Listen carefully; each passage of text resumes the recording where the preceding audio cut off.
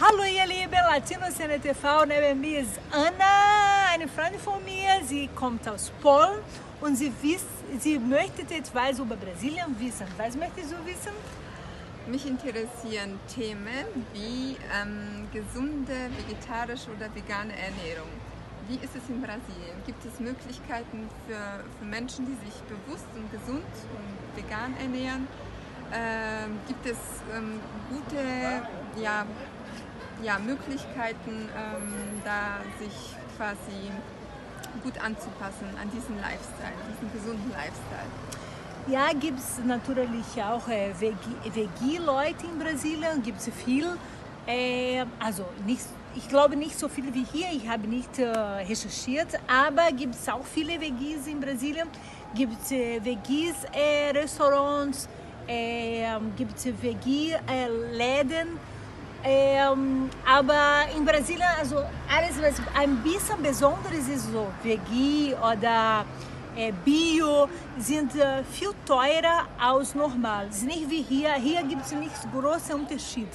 In Brasilien ist es ein bisschen viel teurer als normal. Okay. Aber gibt es auch gibt's Leute, die, die kein Fleisch essen. É, em Brasília é eigentlich schwierig, weil in Brasília morgen wir sehr viel äh, Churrascarias. Churrascarias ist äh, Restaurant, wo man Fleisch isst. Warst du in einer Churrascaria? Nicht, Nein. Ne?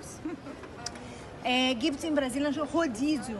Churrascaria Rodízio ist, wo man äh, Fleisch in einen Spieß bekommt Oh und der Kellner schneidet äh, Fleisch Okay, neben also dir. Vegetarier, Ah, du Vegetarier. bist Vegetarier. Vegetarier. Oh Gott, will Churrascaria ist eine Rolle für mich.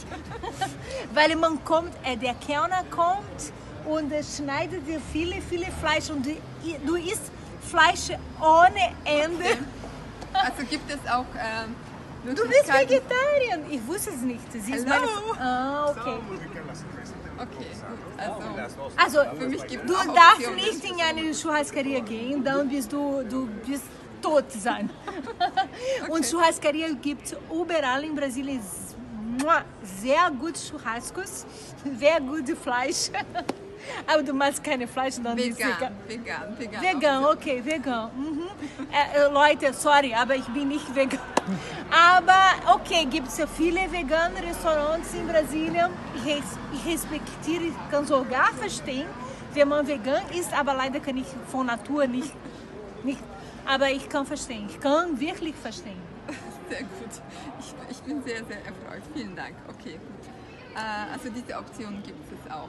Gibt es auch. Wie sieht es aus mit ähm, Umweltschutz in Brasilien? Also solche Dinge wie Recycling, die es bei uns gibt, zum Beispiel Plastikflaschenrecycling oder Mülltrennung. Wird das konsequent dort durchgeführt oder, oder Also nicht so konsequent wie hier.